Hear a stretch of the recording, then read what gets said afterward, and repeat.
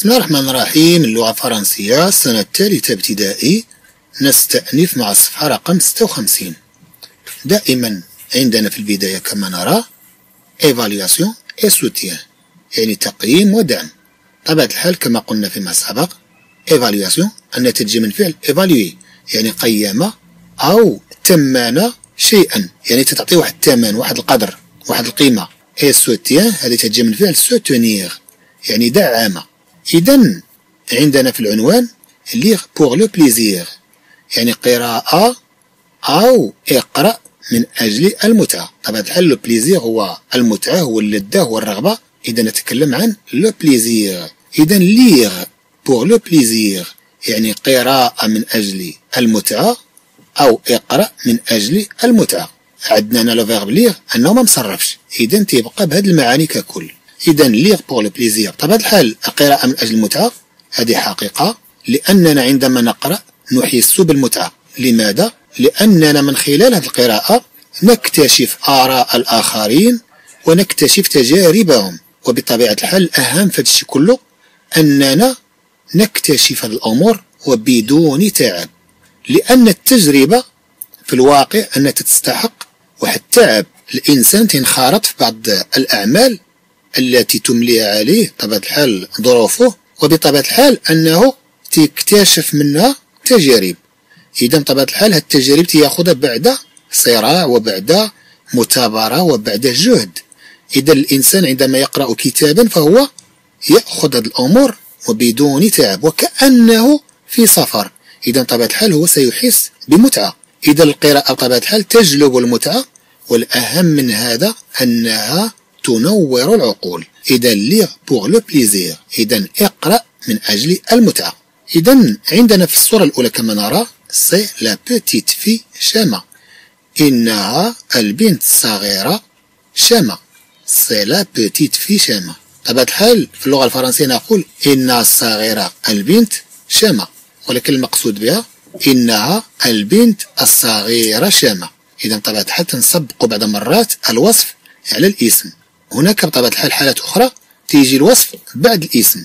إذا سنرى هذا فيما بعد إذا c'est la petite fille شامة. إنها البنت الصغيرة شامة. elle est à la maison elle est بطبيعة الحال عندنا être حنا تنقولو je suis à la maison يعني أنا في المنزل. t'es à la maison أنت في المنزل. il est à la maison يعني هو في المنزل. elle est à la maison هي في المنزل. nous sommes à la maison نحن في المنزل. vous êtes à la maison أنتم في المنزل. Ils sont. ماشي؟ Ils ont. ماشي؟ Avoir. Ils sont à la maison يعني هم في المنزل. إذا بطبيعة الحال يكفي أننا نكون حافظين le verbe être باش تكون عندنا هاد المعاني. إذا elle est à la maison يعني هي في المنزل. Elle donne à manger aux poules elle donne à manger aux poules هي تعطي الأكلة للدجاجات. بطبيعة الحال تنتكلموا على la poule هذه كلمة féminin كلمة مؤنثة donne à manger aux poules. يعني هي تعطي للأكل للدجاجات. كما لو نقول عندنا هاد ال تنشوف فوق منا accent هذه ماشي avoir اذا هاد à بحال حرف الجر. مثلا نقول je vais à l'école ممكن يجي موراه اسم وتتلعب بحال الدور ديال حرف الجر. تنقولوا مثلا je vais à l'école يعني أنا أذهب إلى المدرسة. وبطبيعة الحال تجي في معاني عدة على حسب الجملة. اذا عندنا هنا elle donne à manger aux poules يعني هي تعطي. كما نقول لأكل للدجاجات. إذا هنا عندنا كما نقول تعطي لتأكل للدجاجات. إذا elle donne à manger aux poules طبعا الحال تنقدر نقولوا في جمل أخرى مثلا il donne هو يعطي. طبعا الحال c'est le verbe donner يعني أعطى. il donne à manger بنفس الشكل. au canard au canard au canard للإوز. Tous les jours يعني كل أيام إذا il donne à manger au canard مثلا il donne à manger au canard tous les jours هو يعطي الأكل للإوز كل الأيام il donne le verbe donner à manger le verbe manger يعني أكل au canard tous les jours يعني أنه يعطي الأكل للإوز كل الأيام في الصورة الموالية كما نرى il donne à manger يعني هو يعطي للأكل كما لو نقول ولكن المقصود أنه يعطي الأكل à alligator. À un énorme alligator. Sauvage depuis son bateau إذا هو يعطي الأكل لتمساح ضخم. Sauvage يعني أنه متوحش. Depuis يعني من انطلاقا. Depuis يعني انطلاقا أو من son bateau يعني من مركبه. يعني أنه تعطي الماكلة لهذا التمساح انطلاقا من فوق مركبه هذا هو المقصود. إذا il donne à manger à un énorme alligator sauvage depuis son يعني انطلاقا من مركبه أو مثلا كما عندنا في الصورة الموالية إن بلونجوز طبعا الحال تنتكلم على لوغير بلونجي طبعا الحال ناجي هي سباحة. plonger يعني أنك تغوص. plonger يعني غاصة. إذا نتكلم عن une plongeuse غواصة. يعني سيدة تغوص داخل الماء. كما نرى le verbe plonger المقصود به immerger dans liquide يعني أنك تختفي وسط سائل. immerger quelque chose dans un liquide يعني أنك تغمس شيئا وتغطس شيئا في سائل. إذا نتكلم عن une plongeuse. نتكلم هنا عن une plongeuse يعني سيدة تغطس. إذا كما نقول غاطسة أو غواصة. بنت غواصة أن تغوص داخل الماء. إذا نسميها une plongeuse يعني غواصة. طبعا الحال في المذكر نقول un plongeur un plongeur. إذا عندنا une plongeuse mordue إذا عندنا غواصة سيدة تغوص داخل الماء mordue طبعا الحال تنتكلموا على le verbe mordre mordre يعني عضة. هنا عندنا هي عضت mordue أن عضت par un requin يعني أن عضت من طرف requin قرش. يعني أن القرش عضها mordue par un requin alors في حين alors في حين. qu'elle lui donne à manger في حين هي تعطيه ليأكل. إذا une plongeuse mordue par un requin qu'elle lui donne à manger. إذا غواصة يعني عضت من طرف القرش. في حين كانت تعطيه ليأكل. إذا نتكلم عن دوني أمونجي إذا العبارة تقال هكذا. أنك تعطي ليأكل لشخص أو لحيوان. في حالة الإنسان مثلا نقول كون ان بيبي كري عندما الطفل يصرخ طبعا الحال نتكلم على لو كريي quand un bébé crie عندما الطفل يصرخ باسكو فا لأنه عنده جوع فيعني جوع. إذا a faim يعني عنده جوع. المقصود أنه جوعان. إذا bébé crie parce qu'il a faim عندما الطفل يبكي لأنه جوعان on lui donne à manger. on lui يعني أننا نعطيه on lui donne à يعني أننا نعطيه ليأكل. إذا في الصورة الأخرى image, qu'est-ce qu'on a عندنا شاماتيس ان تابي. شامة تنسج ضربية أو سجادا.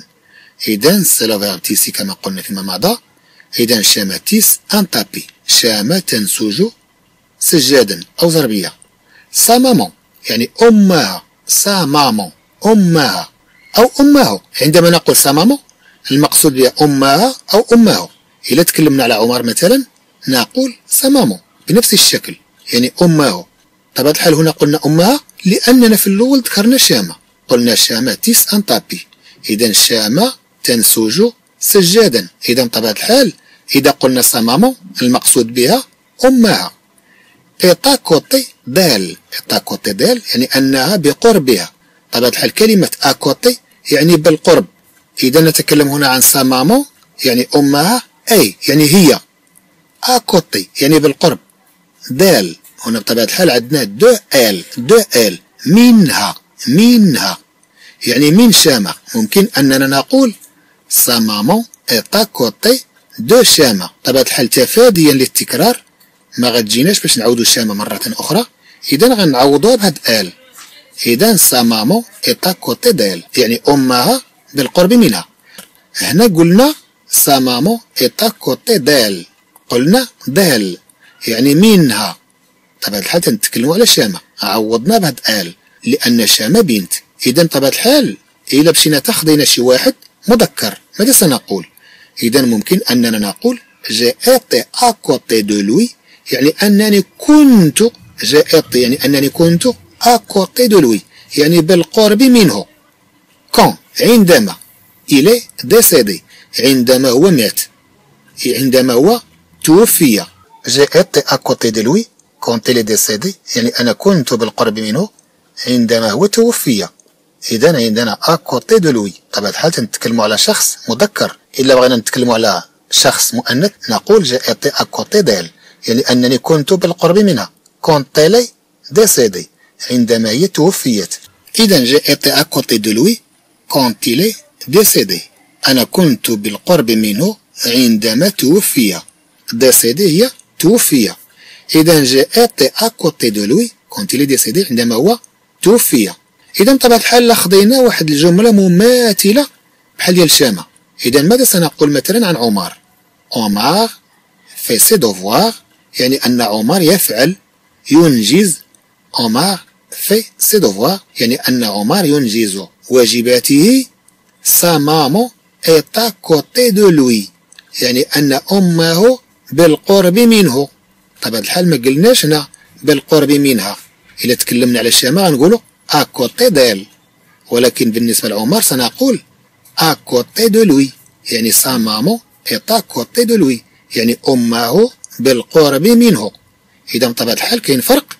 عمر fait ses devoirs sa maman est à côté de lui sur l'image suivante on a la maîtresse سميرا vient à la maison pour voir شامة la maîtresse سميرا المدرسة سميرا vient à la maison يعني ان تاتي للمنزل vient à la maison c'est le verbe venir هذا فعل جاء اذا vient à la maison pour voir شامة إذا تأتي للمنزل لترى شامة إذا la maîtresse Samira vient à la maison pour voir شامة المدرسة سامرة تأتي إلى المنزل لترى شامة لكي ترى شامة Et enfin on a la maîtresse Samira ramène Shama à l'école.